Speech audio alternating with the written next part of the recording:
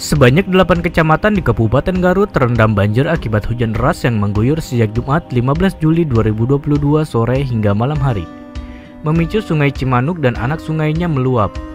8 kecamatan yang terendam banjir antara lain Cikajang, Cilawu, Tarogo Kaler, Tarogo Kidul, Garut Kota, Karangpawitan sebagian, Banyuresmi, dan Cibatu.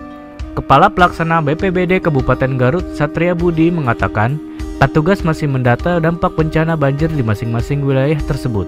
Pelapor dampak berencana dilakukan oleh pihak terkait di masing-masing kecamatan. BPBD Garut saat ini berfokus BPBD Garut saat ini berfokus pada penyelamatan warga. Seperti yang dilakukan tim sergabungan pada Jumat malam mengevakuasi warga yang terjebak banjir di Kampung Cimacan, Kecamatan Tarogong Kidul, Kabupaten Garut.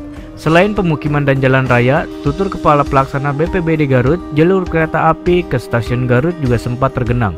Diketahui Kabupaten Garut dilanda bencana banjir yang dipicu hujan ekstrim sejak petang hingga menjelang tengah malam Jumat 15 Juli 2022.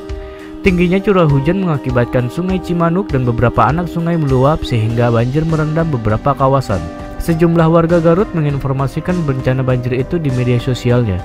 Informasi yang dihimpun menyebutkan Banjir menerjang sejumlah wilayah kawasan perkotaan Garut mulai Kecamatan Garut Kota, Torogong Kidul, Cilawu, dan Karangpawitan. Hingga kini belum diketahui dari dampak bencana tersebut. Rata-rata, bencana banjir dan genangan air di sejumlah jalan raya terjadi di kawasan perkotaan Garut akibat luapan sungai.